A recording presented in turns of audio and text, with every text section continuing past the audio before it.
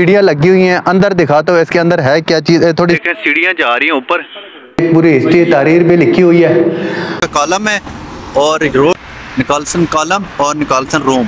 असलम मैं गुलाम रसूल आप देख रहे हैं मेरा यूट्यूब चैनल सैम नादिर। तो दोस्तों मैं तैयार देख रहे होंगे मैं तैयार हो चुका हूँ लश पश हो चुका हूँ। ये बैरियल नंबर दो पे। और ये देखे चिल्ड्रन अस्पताल मुजफ्फर। ये गाड़ियाँ पड़ी हुई हैं, जो पकड़ के लाते हैं। ये देखे कितनी ज़्यादा गाड़ियाँ पड़ी हुई हैं। ये ट्रक है। गाड़ियों की हालत देखें आप। अभी हमने यहाँ पे नमाज़ पढ़ी है। ये लोग नमाज़ पढ़ के निकल रहे हैं। जैसा कि ये देख रहे हैं, आप रोड जो है, ये पिशा, ये पिशावर से जा रही है और उधर से आ रही है। और ये इधर ये रावलपिंडी, ये इसको बोलते हैं मारगला। आज मैं आपको लेके आया हूँ, इस मीनार के बारे में बताऊँगा ये है क्या चीज़। मैं ऊपर जाऊँगा और इसकी पूरी डिटेल मैं आपको बताता हूँ। और ये है मारगला हिल ये टेक्सला और तरनौल के दरमियान में आगे आ जाता है सिंजानी टूल प्लाजा। और उसके बाद आगे फिर तरनौल आ जाता है और ये है मारगला की पहाड़ी। यहाँ जिसको काट के ना यहाँ पे रोड निकाली गई है ये देख सकते हैं आप, इस साइड पे भी है और इस साइड पे भी है। तो इसको बोलते हैं मारगला पहाड़ी। आपको एक और बात बताता चलो कि रोड जो है ना ये तो चलो इस पहाड़ी को काट के उन्होंने बना ली है। और जो रेलवे का ट्रैक है ना ये देखिए खंबे भी है ना बिजली की जो लाइनें हैं बड़ी बड़ी ये भी जो है ना ऊपर से ही जा रही हैं।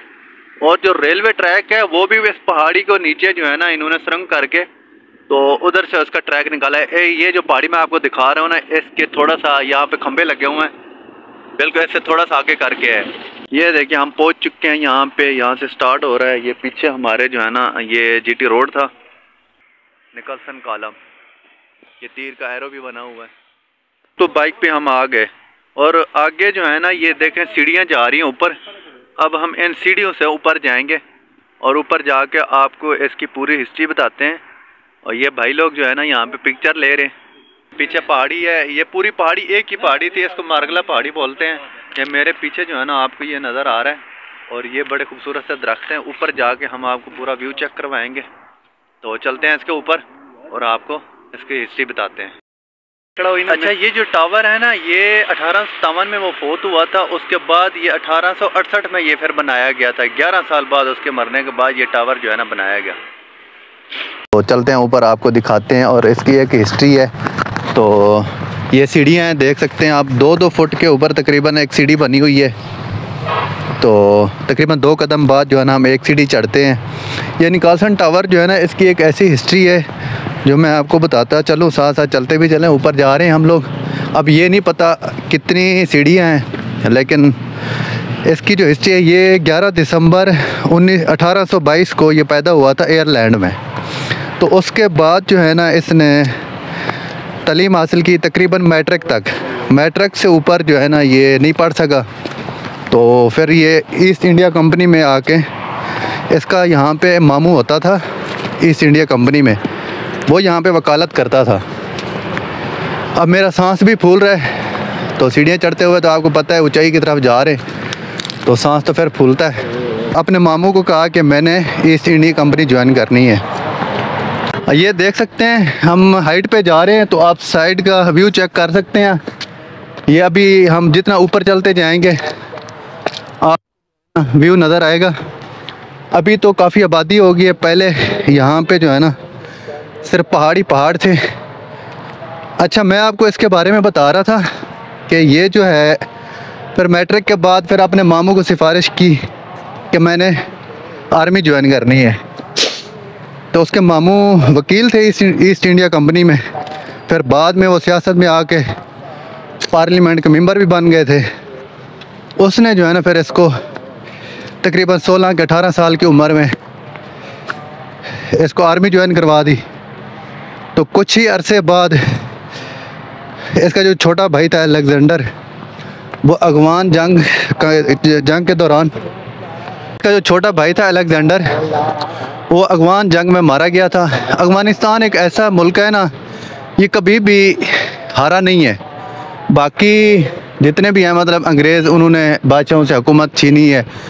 रूस आया है, अमेरिका आया है इससे पहले उसका भाई निकालसन जॉन निकालसन का जो भाई था अलेक्जेंडर, उसने भी कोशिश की थी, लेकिन वो भी हार गया था। तो उन्होंने जब जंग में वो मारा गया तो उसने अपने भाई की लाश देखी तो लिथड़ी पुथड़ी लाश थी तो वो फिर मुसलमानों के बहुत ज़्यादा ख़िलाफ़ हो गया। तो उसने फिर तकरीबन अठारह सौ सतावन में जब जंग हुई तो ये भी फिर मारा गया। फिर मरने के बाद अभी चलते हैं ऊपर और आपको दिखाते हैं। ये थी इसकी स्टोरी जो मैंने आपको बता दी है। असल ये ईस्ट इंडिया कंपनी से, बादशाहों से जितना भी सोना वगैरह छीनते थे ना तो इसको भी लालच पड़ा था कि बाकी अंग्रेज़ आते थे, इधर से ईस्ट इंडिया कंपनी से जो है ना ये सोना वगैरह, माल, पैसा लेके जाते थे। तो ये भी जो है ना इसलिए आया था 18 साल तकरीबन ये ये ईस्ट ईस्ट इंडियन कंपनी में। ये देखिए, हम तकरीबन बारह हज़ार बारह सौ फुट जो है ना ऊपर आ चुके हैं।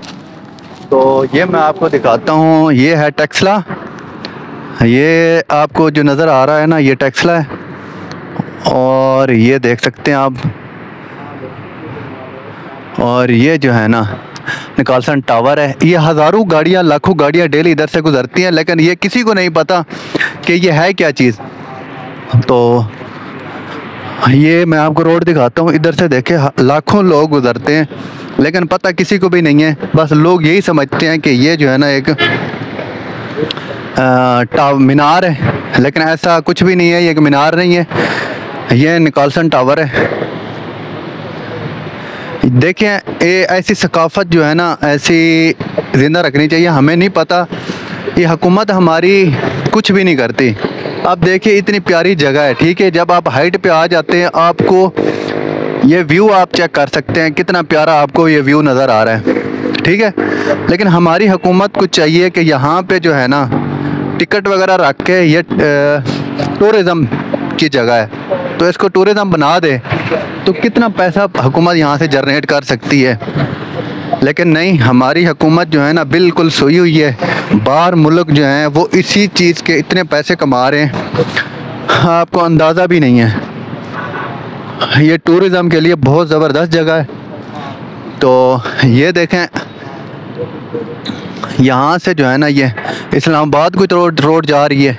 वो सामने आपको डैम नज़र आ रहा होगा, जो इस्लामाबाद को पानी जाता है, इधर से फ़िल्टर लगे हुए हैं, यहाँ से साफ़ हो के ये देखिए, मैं अभी यहाँ पे बिल्कुल एंड पे आ गया हूँ।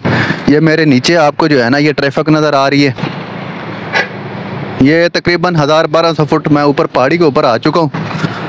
तो मैं आपको ये भी दिखाऊँ। वो मैं गिर ही ना जाऊँ यहाँ पे। यहाँ पे आप देख सकते हैं, ये पहाड़ी को काट के रोड बनाई गई है तो मेरी हुकूमत से यही गुजारिश है कि इसको जो है ना, थोड़ा देखे। क्योंकि यहाँ से हुकूमत पैसा जनरेट कर सकती है।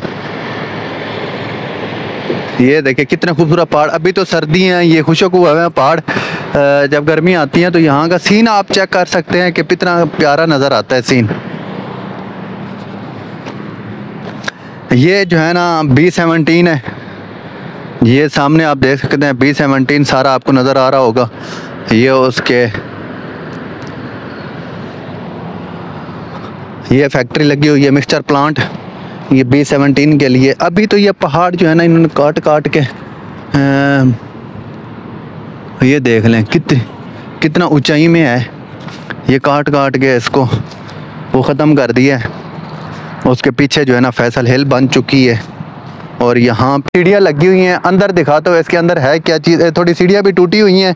तो हमारी हुकूमत से यही गुजारिश है कि इसको टूरिज़म के लिए बना दे तो बहुत अच्छा है। तो बाकी दुनिया इसी चीज़ के पैसे बना रही है। ये ऊपर जा रहा हूँ इसके। ये सीढ़ियाँ चढ़ रहा हूँ। तो गिर ना जाऊँ मैं। अंदर दिखाता हूँ इसके अंदर है क्या चीज़? ये मैं अब ऊपर आ गया हूँ। ये है जी अंदर। अंदर कोई जमगादड़ ही ना पड़ी हो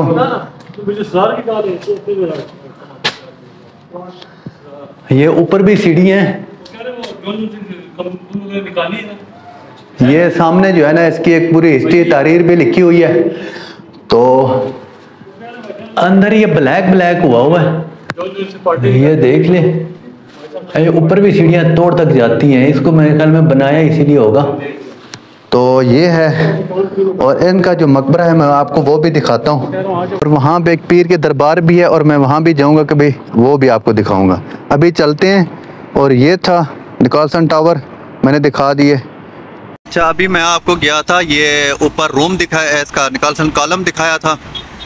और ये जो है ना, रोड के उस तरफ़ जो है ना, इसका कॉलम है और रोड की इस तरफ़ जो है ना, इसका रूम है। ये मैं आपको दिखाता हूँ। ये निकालसन कॉलम और निकालसन रूम। वो जहाँ पे रहता था, उसका ये रूम है, इधर से अभी ताला लगा हुआ है। मैं अंदर तो नहीं जा सकता।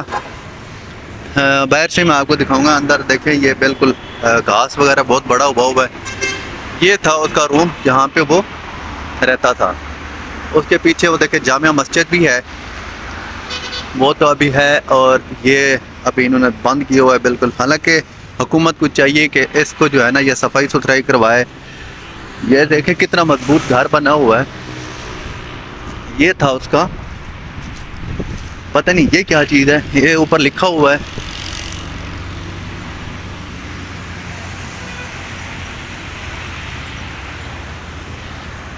आज की वीडियो अगर दोस्तों, मेरी वीडियो आपको अच्छी लगी हो तो वीडियो को लाइक सब्सक्राइब ज़रूर कर दिया करें। इससे सपोर्ट मिलती है।